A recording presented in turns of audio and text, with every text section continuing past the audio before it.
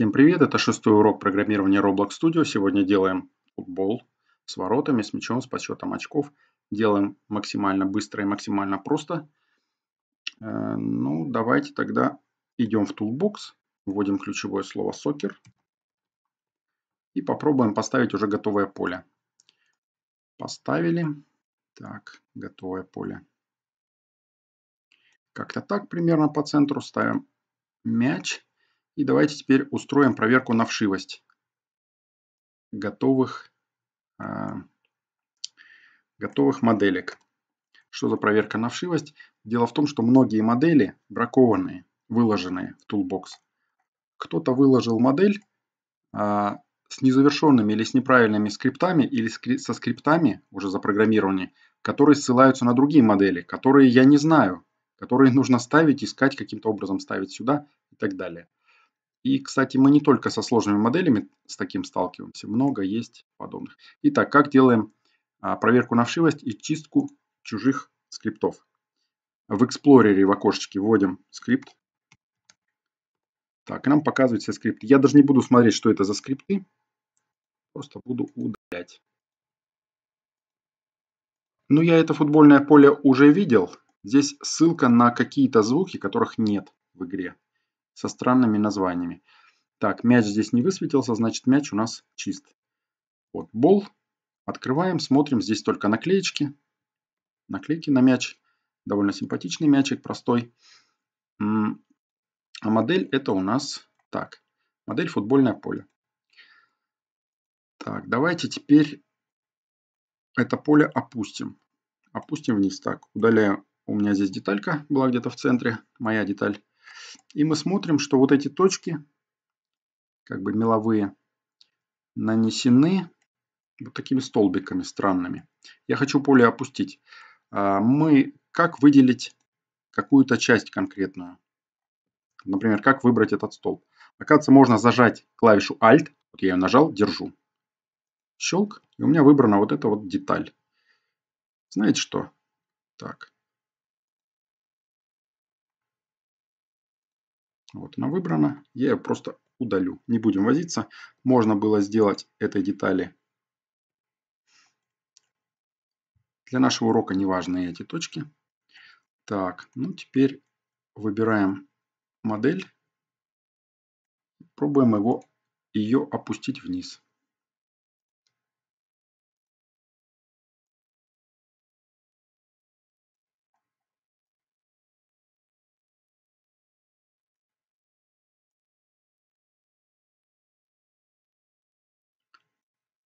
Так, ну я думаю так сойдет. Закрепляем модель.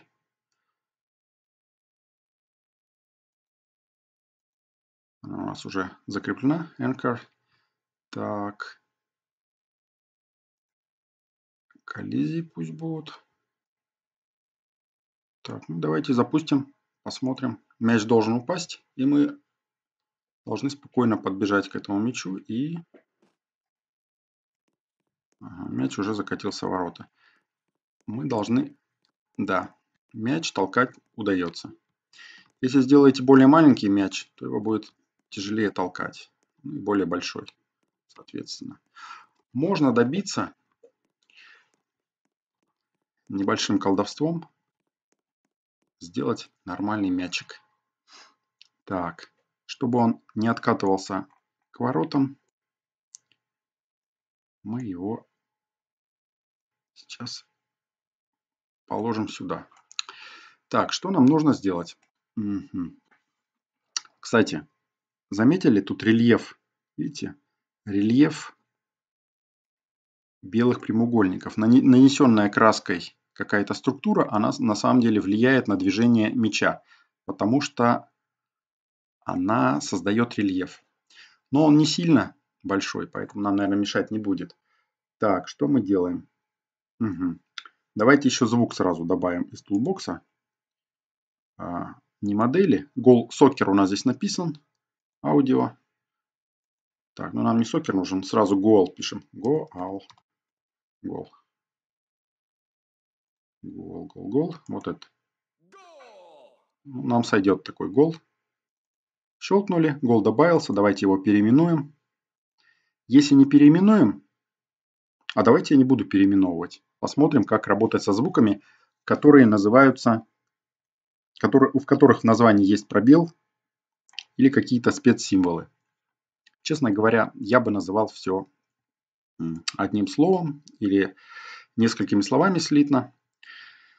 Ладно, так, приступаем. Как нам определять, закатился мяч или нет в ворота? Давайте поставим детектор. Мы уже что-то подобное делали с нашими минами или с телепортами. Ставим детектор. Давайте детекторы пусть будут такого красного цвета.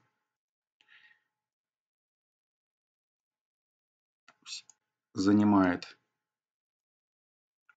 всю площадь нашего, а, наших ворот. Так, это, по-моему, левые ворота. Давайте я назову деталь left gate. Left gate. А, мы позже сделаем эту деталь, да, да не позже, наверное, так. Внизу у меня вкладка Properties, вот этот left gate. Делаем, ставим здесь галку, во-первых, закрепленная, чтобы она не, не, не упала сквозь пол. Can collide убираем, чтобы мы могли, мяч сквозь нее прокатывался, как будто ее не, не существует, как будто это голограмма. Ну и можем немножко прозрачность, наверное, ее изменить. Хватит. Так, я левые ворота настрою, потом сделаю duplicate и сделаю точно так же правые ворота, чтобы не тратить на время. Так, добавляем скрипт. Ск. Скрипт. Hello World нам не надо. Так. Давайте теперь напишем функцию. Был ли гол? Точнее, функция, когда произошел гол. Function was goal. Так. Ну, здесь мы напишем, эта функция будет получать параметр, а, какая деталь или кто, кто дотронулся до этих ворот. Other part. Другая часть, другая деталь. End. Так. Ну и нам нужно сделать так, чтобы э, наш гол срабатывал только от мяча. Чтобы не только когда человек забегает или, я не знаю, э, кто-нибудь бросает туда бейсболку или стреляет, а только если туда закатывается мяч.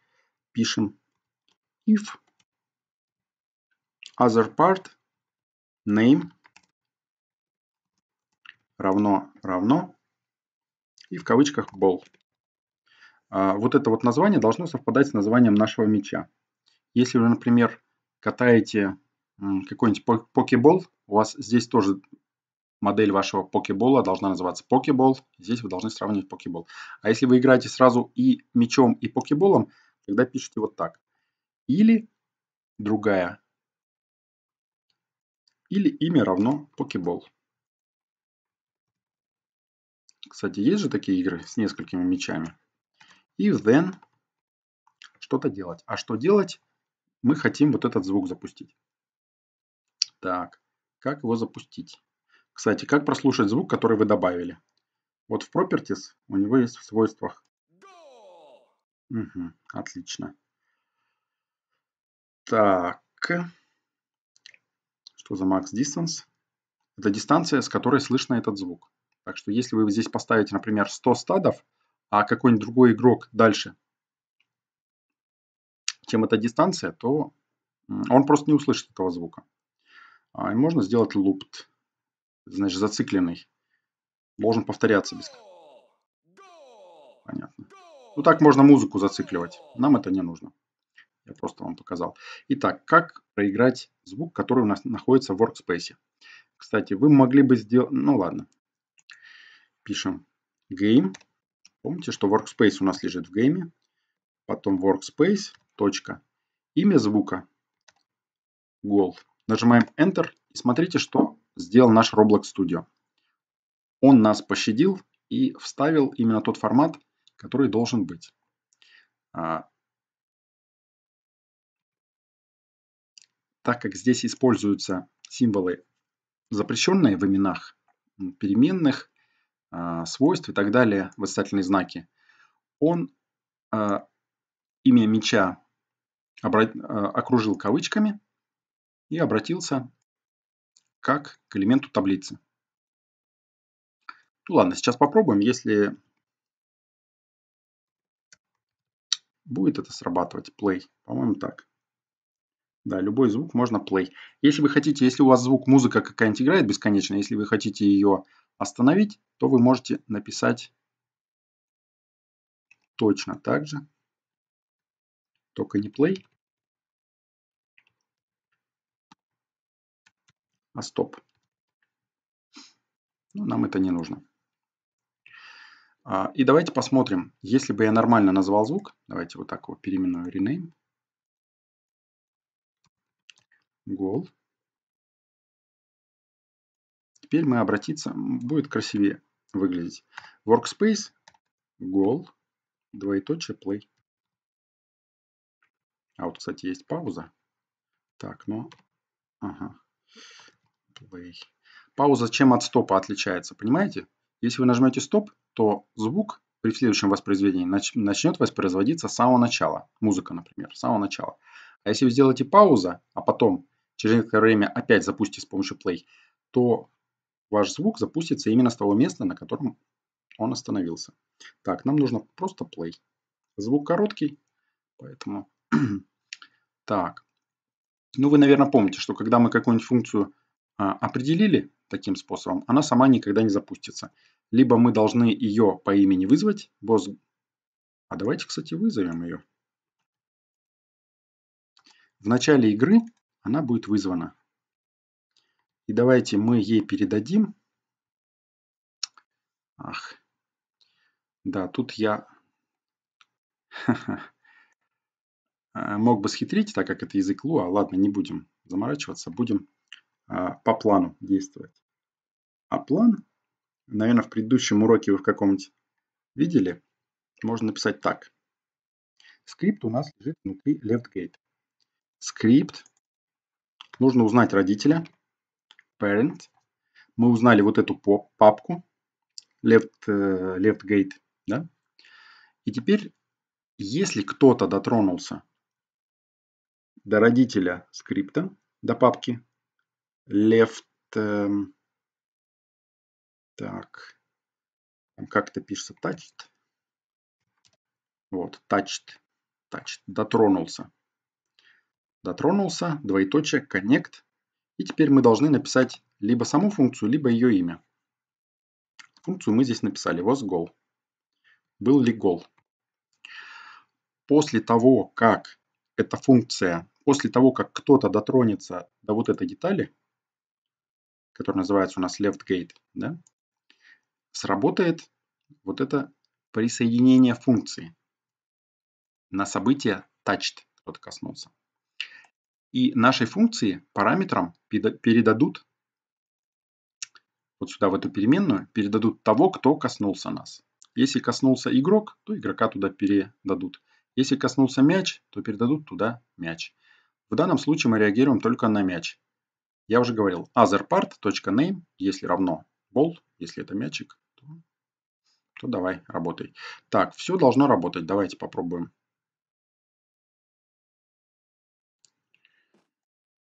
Вот. Можете, кстати,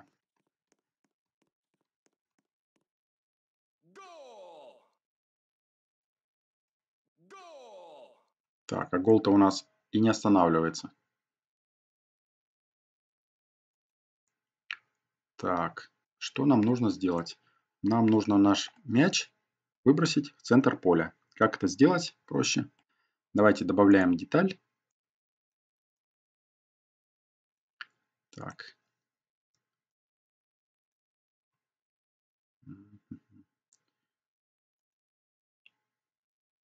А, тут у меня scale, извините. Scale, move.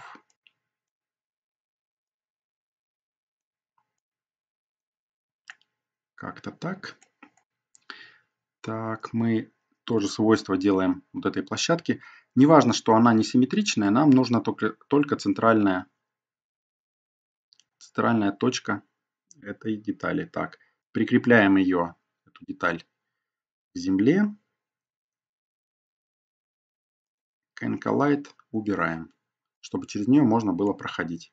И можем ее уже сделать тоже прозрачной, чтобы ее почти не было видно. Потом можете спрятать. Переименуем ее, например, центр поля. Эм, назовем field center. Rename. Field это поле по-английски.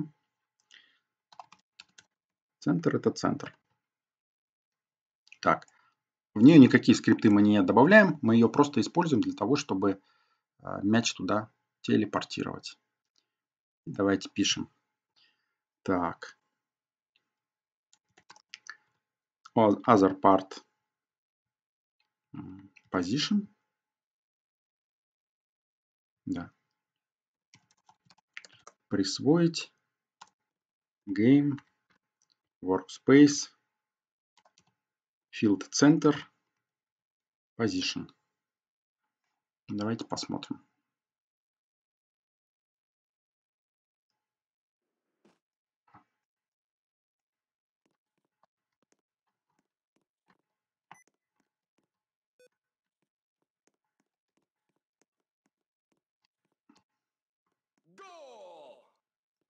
Гол. Мяч появился в центре.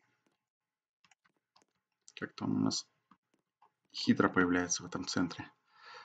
Давайте мы его сделаем, чтобы он появлялся не просто в центре этой детали. Во-первых, мы ее можем... Ну, давайте, ладно. Простой способ это эту деталь...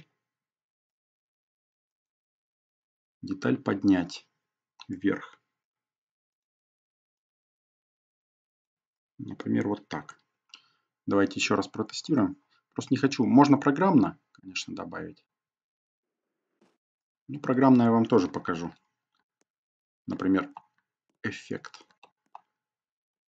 Давай, катись мяч.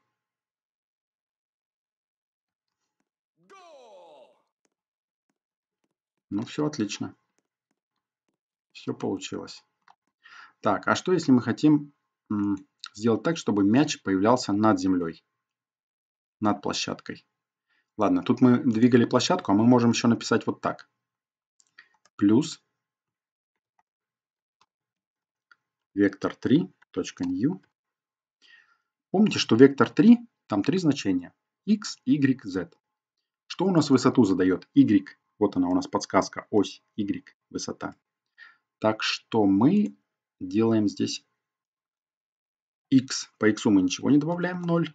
По y добавим, допустим, высота 100. По z тоже ничего не добавляем. И сейчас мяч должен появиться на позиции нашей детали, field center, но плюс высота 100. Вот так. Проводим эксперимент.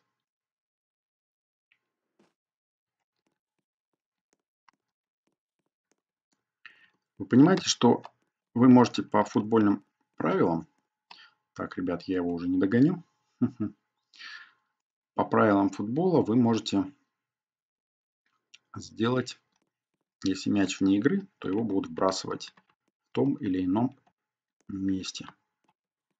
Тоже можете сделать. Нет, ребят. Какой-то я... Мячик плохо катится.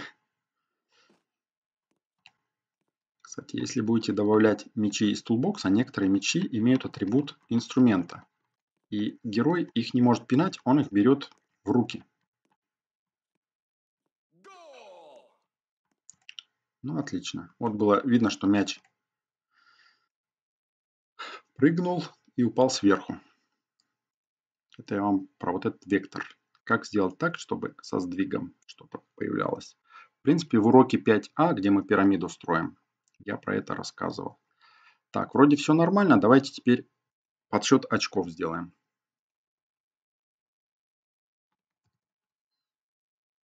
Переменная score она будет внутри этих ворот, и она будет прям из этих ворот, ворот выводить э, очки, э, счет на табло.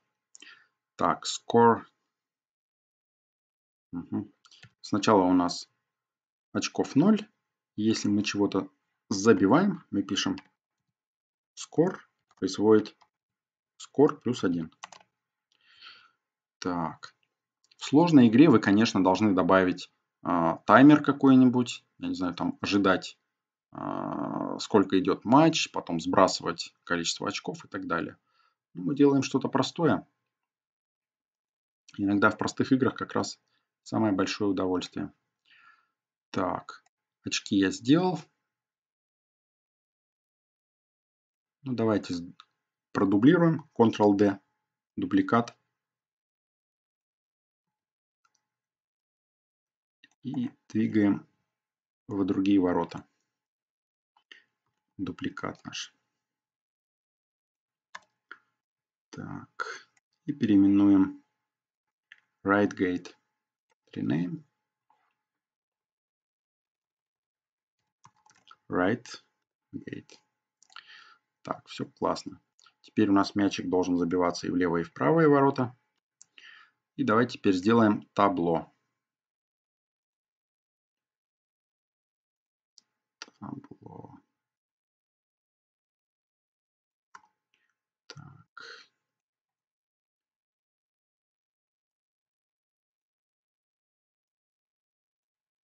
Конечно, тут размахнулся. Так. И в табло, так, давайте как-то, table назовем его, таблица, table, и на него, чтобы мы что-то могли рисовать, table добавляем GUI, surface GUI, это означает на одной из поверхностей нашего э, табло. Кстати, давайте посмотрим, какая поверхность повернуто к нам. Вот это помните, как это делать? Выбираем Table, нашу деталь, Select. И в свойствах идем в ее surface. Выбираем Back, Bottom, Front, Left, Right, Top. Что-то я плохо вижу. А, ну вот, видно, подсвечивается. Так, давайте. Вот. Back. Итак, это задняя, задняя часть. На ней мы будем все писать. Поэтому в Surface GUI мы должны выбрать здесь вот Face. Не на фронте писать, иначе мы не увидим, это сзади будет. А давайте на Back. Back вот здесь. Так, теперь что писать? Давайте добавим сюда текстовую метку. На самом деле нужно две добавить. А, ну, добавлю сейчас одну. Текст label. Так, давайте еще Surface GUI. Я вам не все объясняю, но а, вот Canvas Size – это как бы размер холста, на котором мы будем рисовать. Здесь написано уже не в стадах, а в пикселях. А, так, так, так. Так. Ага, здесь только размер играет роль. Идем в текст label. Видите, какая она у нас маленькая. Причем клавиша F не работает. А, помните, да? Выбираем какую-нибудь деталь, и камера приближается. Выбрали текст лейбл, к сожалению, камера не приближается к ней. Ну, давайте сделаем так. Во-первых, имя. Нет, имя пусть остается. Идем текст. Мы будем менять только текст. Имя пусть у нас остается. Текст 0. Видно, что здесь маленький 0. Давайте этот маленький 0 сделаем большим. О, как просто можно просто не меняя размер а, шрифта, можно просто сделать, что текст будет масштабироваться по размеру вот этого поля метки. А размер этого поля мы сейчас попробуем изменить. Вот он у нас сайт, size position. Здесь довольно сложно. В общем, первые нули не, а, в каждой паре не трогаем. Первое это отступ. Сколько отступить от левого края. Допустим, допустим, 10. Так, а это сколько отступить сверху? Допустим, 30. Так, так, давайте размер теперь. И размер. Так, ширина у нас 200, высота. Давайте тоже высоту сделаем 200 и посмотрим. Так. Угу.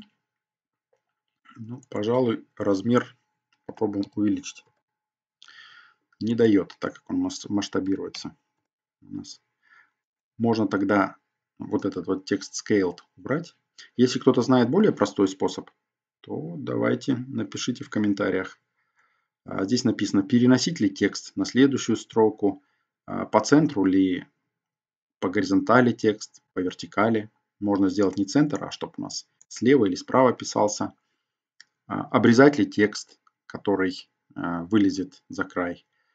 Так, в общем, я текст, галку убрал, масштабирование. Давайте напишу здесь 100, например. Кто нам мешает? 200 размер.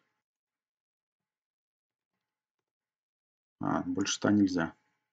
Или можно? Давайте 180. Не дает. Ладно, не будем на это тратить время. Я думаю, поиграйтесь, разберетесь.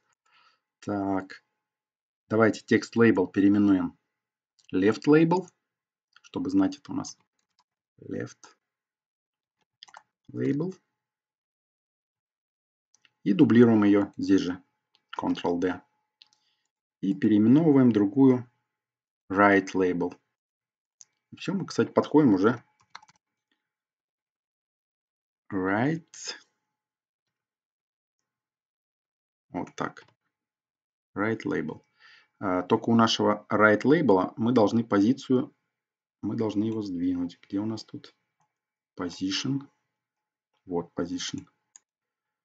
Пишем, например, 440.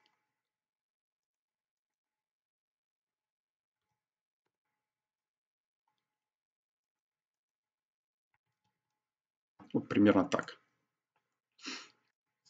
Так, давайте теперь разберемся с воротами. Если, в это, если команда правых ворот забира, забира, забивает эм, гол в левые ворота, то какой мы должны, э, какое число мы должны вывести куда? Точнее, куда вывести, налево или направо? Я думаю, что очки должны идти правой команде. Если я не прав, в комментариях, конечно же, поправьте. Итак, пишем table. Мы должны добраться вот до этих меток. Левый лейбл или правый лейбл. Итак, мы сейчас с вами... Кстати, как посмотреть, какой скрипт? Вот смотрите, у вас здесь скрипты открыты, куча скриптов. Так, left, right, label. Во, Видите, у нас скрипты, я не знаю какие где. Какой чей скрипт. Правой кнопкой мыши нажимаем на любом скрипте правой кнопки. Show in Explorer. Нажали, сразу перескочил на тот скрипт. Мы видим так, это для левых ворот. Ладно, если левые ворота, значит правые right label. Меняем, пишем. Game, Workspace, Table, Table, table, surface, GUI. Сейчас доберемся до этого right label. Точка. И мы меняли, помните, на 0 текст. Вот этот, в этот текст мы и будем сейчас писать наш score. Score. Так. Давайте теперь эту строчку скопируем для правых ворот. Здесь все то же самое, только мы должны писать в левый лейбл. Понятно это, да? Надеюсь. А иначе у вас будет за все ворота добавлять, добавлять очки одной команде. Ну что, тестируем. И, и на этом заканчиваем. Так.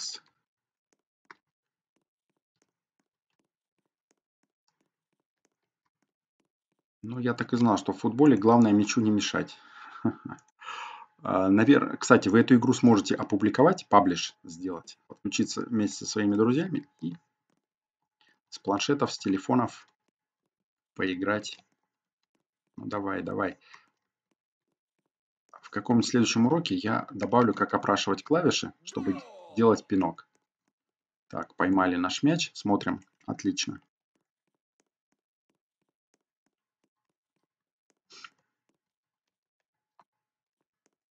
Я чего-то не предусмотрел. Ну ладно, давайте проверяем отдельно, еще забиваем в правые ворота. А, надо было, наверное, сделать, это уже не, программ, не дело программиста, сделать заборчик, чтобы мяч не укатывался. Так, и попробуем его теперь в правые ворота забить. Ну, ребята, время-то идет. А мы тут в футбол плохо играем. Кстати, не забудьте сделать невидимыми эти площадки. Кстати, можно не обязательно невидимыми сделать. Можно, если вы рисуете сами это поле, можно просто основание ворот. Отлично. Единицу получила левая команда. Так, левая эта команда получила... А мяч опять закатился или я не понял, что это произошло? Что-то мне не нравится.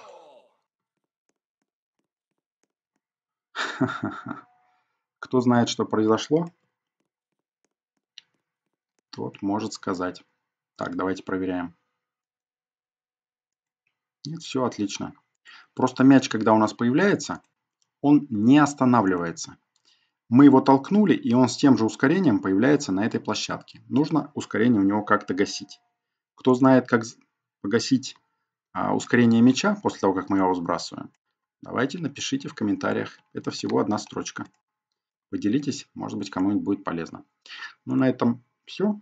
До следующих встреч. Ставим лайки, там колокольчики. Подписываемся, друзьям сообщаем. Пока.